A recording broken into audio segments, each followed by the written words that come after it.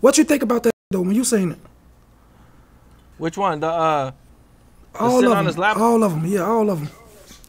what I think when I seen it, man. Um, the first thought was, uh, let me. I want to make sure this is him. you know, it is. It, it looked really like him, man. Um, you know, my first thought was, I mean, if that's what he, if that's what he wants to do, man, I think that he should just own it. If that's really him, um, instead of you know trying to The Nat. deny it. You know, he should just own his truth and be who he's, you know, gonna be, man, and just let it be that. That's what I thought about it, man. Mhm. You know. That's a fact though.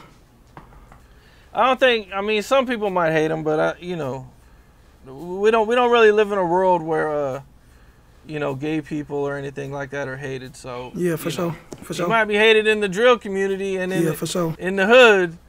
Hell you know, yeah. where, where things are a little bit uh, different, but you know, he'll be good in the real world, man. Yeah, for sure. But don't nobody hate on like gay people and stuff like that. It's like, but you portray, you portraying another image, and then you you acting like that. You know what I'm saying? You gotta look at you different. I hear that. Yeah, man. Uh, that's that's real, real shit, man. Well, um, Kodak Black, man.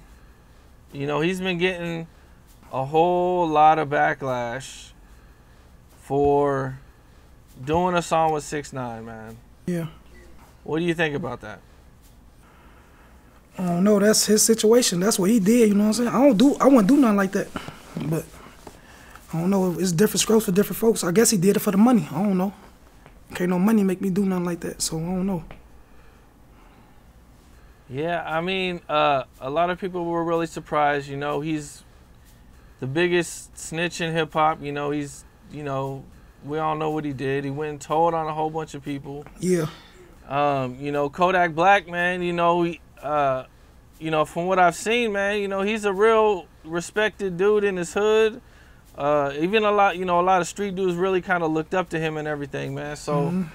you know, a lot, a lot of people, you know, were saying they were disappointed in him. You know that that the money just wasn't worth it. Yeah. For sure. For sure though. That's a true. That's true. That's true. That's true. Hell yeah, that's true. And now you were saying that you wouldn't do anything like that, man. You know, No. No, I wouldn't do nothing like that.